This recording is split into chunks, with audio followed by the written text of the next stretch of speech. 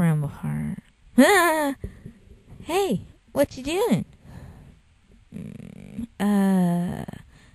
Oh, hi, Brambleheart. Actually, I want to ask you something. If you want to come down me to the river. Uh, um. I mean, if you want to. sure.